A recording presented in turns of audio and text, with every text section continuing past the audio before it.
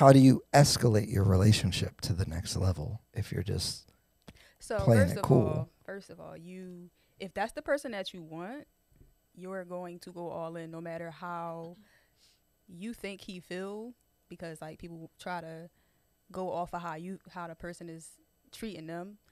Instead of doing that, you'll just give your all because that's what you want to do. Genuinely, you want to you want to be with that person. Um, if I'm that. dating somebody, I have intentions to be more than just dating. So I'm going to go all in.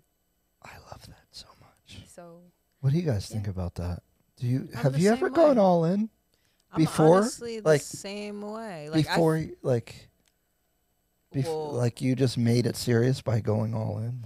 I don't think so. I feel like if, I guess, I don't really. I don't know. I feel like if you're pursuing me and I'm pursuing you, like if you're interested in me and I'm interested in you, then I'm not really going to hold back too much. I mean, I guess Mm. there's levels, obviously. Like yeah, it's I'm not going to act like a psychopath, but Mhm.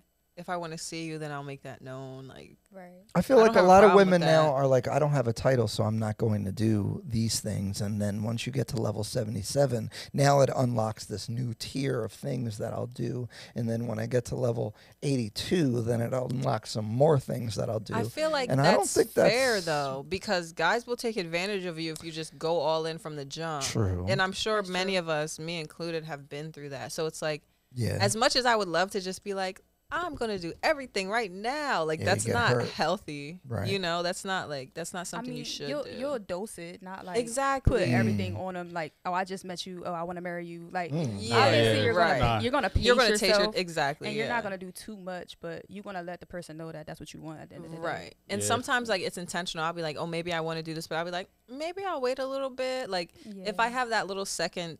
So you second hold back, guessing- you think? You'd be like, I want to do this, but I won't do it because of our Sometimes just because? I'm not sure. Like I don't know how Mm. it's going to be received. I don't know if we're there yet. Like I don't want to do something nice for someone and their intentions with me are not to take me serious and now they're like Mm. thinking they could get over 'em on me type shit. Like that's not Is that normal? So so do you normally operate like that?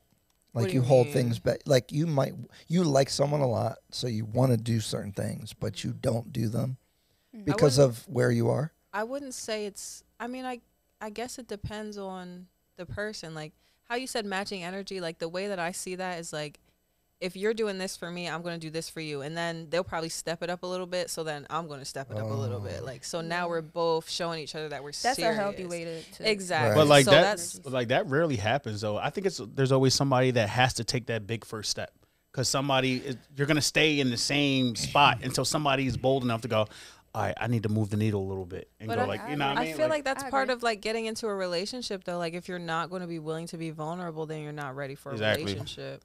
Yeah, you should be willing to take that big first step. hmm You know, because And that's a part of it. What you ex- dating for, basically. exactly. You if you're gonna be dating to date. scared, exactly. If and you're gonna be also scared, it's like- it's also a pride thing too. We're so big, like in today's culture, pride is like pride and ego is at the top of the list. So Facts. let somebody have you out here looking stupid, and it's like, yo, I, I gave gave my all to this person, and they was just shitting on it. Like it's pride and ego. Like you got to be willing to take that step, because if not, you're just gonna, you know. and I know- feel like people don't understand like relationships. Some are just kind of hit or miss sometimes. Like Mhm. you're not really looking stupid unless you're not a fucking celebrity broadcasting your shit to the world. You know, like you might feel stupid, but you kind of got to deal with that within yourself. You got to tell yourself you like, chose to do that. yeah, like and you shouldn't feel bad about it. Exactly. Yeah. you did what you wanted to do. You were serious about the person. You showed them that.